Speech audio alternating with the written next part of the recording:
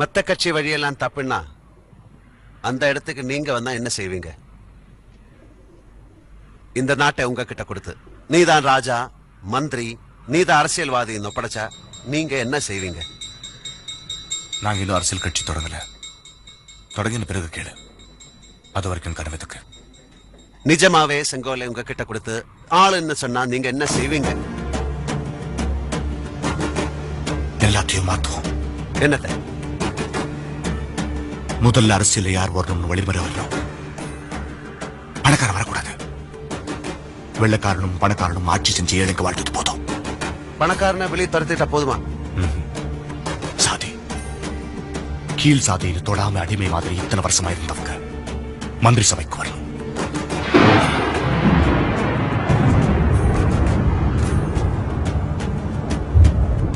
முதலாளித்துவம் ஒழியணும் அரசியல்வாதி போலீஸ்காரனை கைத்தடியா நடத்துறத?